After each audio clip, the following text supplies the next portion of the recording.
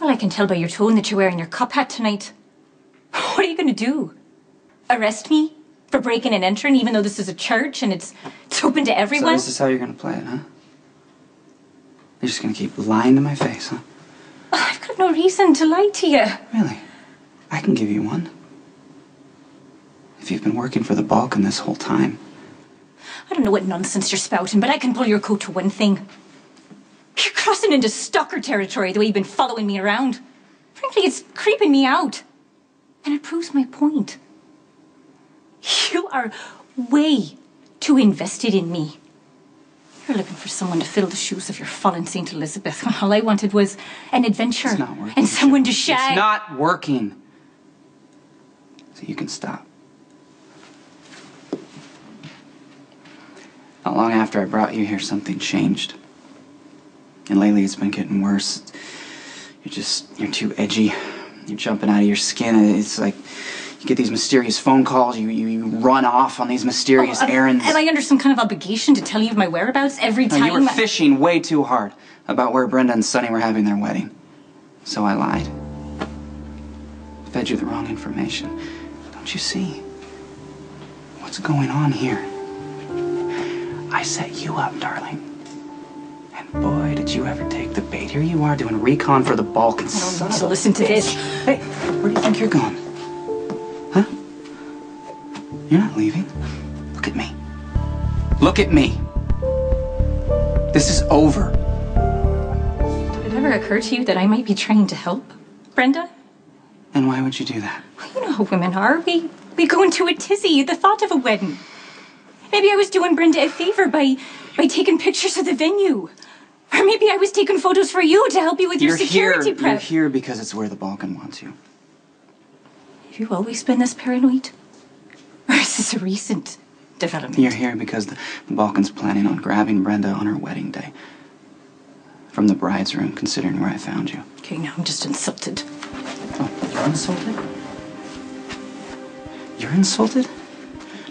No, I'm insulted, Siobhan. Me, okay? Because you've been sleeping in my bed and working against me behind my back.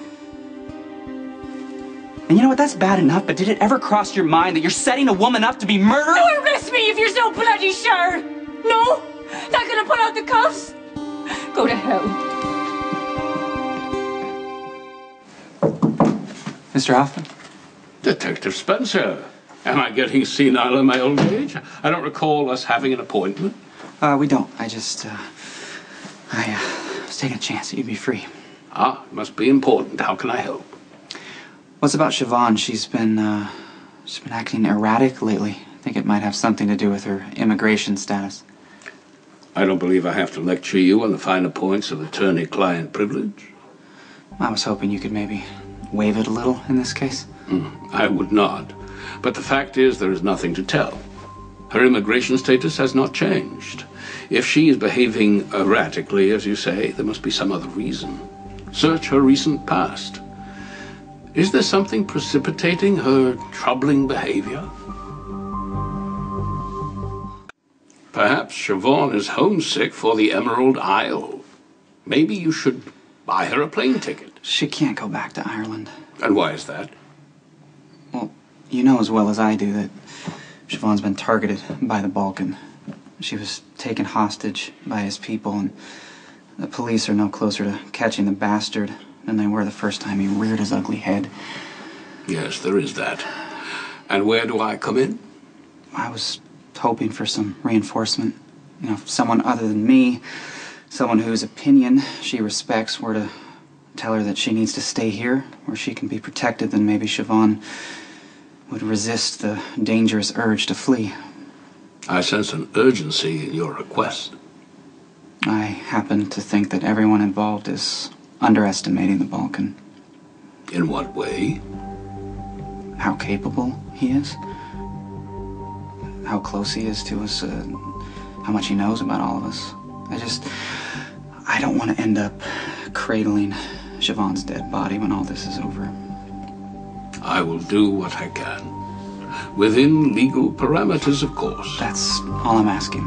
Thank you.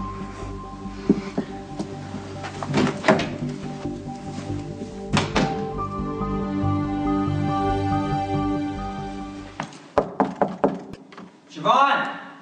Go away! Like you're the one breaking and entering. Don't leave right away. I'm calling the cops. I'm, I'm not. I'm not here to attack you. Okay? I. I've been walking around trying to figure out what the hell is going on. And as much as I don't understand it, I know in my heart that I wasn't wrong about you. You weren't faking what we have together. Can we please not do this again? But you don't have that kind of duplicity in you. You're, you're too open. You know, everything you feel is right there in your eyes for anyone to see. And that tells me that there's a reason that you're working for the Balkan. Just trust me enough to tell me what it is.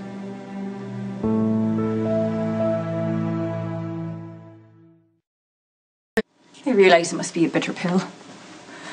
Getting snowed again so soon after having your heart stomped by St. Elizabeth. Don't do that. Don't do what? Don't deflect me with Elizabeth, okay? You've done it one too many times. It's not gonna work. Well, I'm sure the truth hurts. You're amazing. You know that? Even now. Caught as hell. And you're still trying to bluff your way out. You're not that good at it. It's the eyes, remember? Now you're gonna listen to me. You're gonna listen to me for a minute while I say what you can't. Meeting me wasn't a part of some elaborate setup. It just happened. You know, we got we got set on a course. We, we, we took a journey together. We ended up caring about each other deeply. And then somewhere along the way, the Balkan got to you. I would imagine whatever he's holding over your head is pretty serious. Listen, Siobhan. You can tell me. You can. I just want to help you. Please.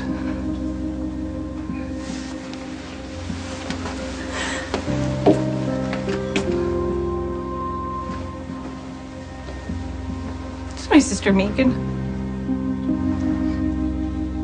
I'll consult on her. If I don't do what he wants, he'll kill her.